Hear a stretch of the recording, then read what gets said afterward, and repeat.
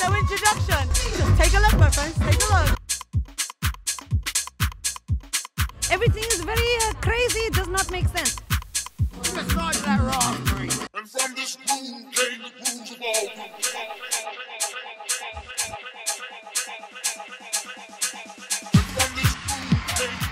Mr. Toni Varga, one of Elrow's residents. Did you ever think you would be touring the world with a big yellow chicken, playing music, making people lose their minds? Yeah, it's incredible. We are rocking really, really, really fast now, and we are really excited because at the beginning, when we start with this project, we never imagined that we're gonna finish in Street Parade in Zurich, playing for one million people. Last weekend was one of the one dream come true. Who gonna told me that I'm gonna travel now with a chicken around the world, playing in the the main festivals in the world? Yeah.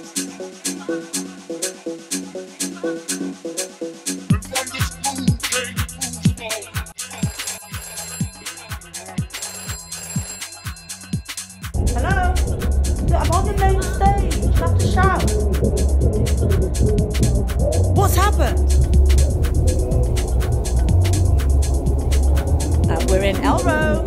Duh. Let's grab yourself an inflatable and have some fun. I gotta go. Sidney Charles and Sante backstage at Elrow. I feel like I need to um, participate and put on the shades. And now we're all rolling. Do you remember the first time you ever came into an Elrow party? I was really blown away by the production and the when the confetti bomb dropped, it was like wow.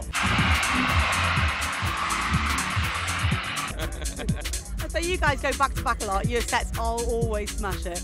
Like, how much fun is it working together? Oh, it's a lot of fun, definitely. Yeah. Something um, special because you have a different vibe of when you're playing alone and a little bit more planned because you know what you're doing, but you never know what the other one is doing next.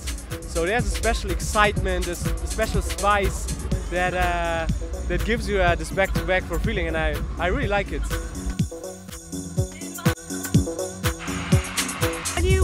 Apply for a job at Elrow, like, you know, what do you say on your CV? Uh, yes, I am mental. Is that- That's pretty much it, yeah.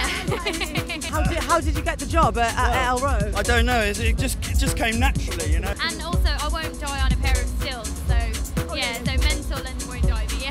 Health and safety is Health paramount. and safety, of course. Yeah. They saw me in a club once and said we've got to have that guy, so I'm here. Literally about to go crazy.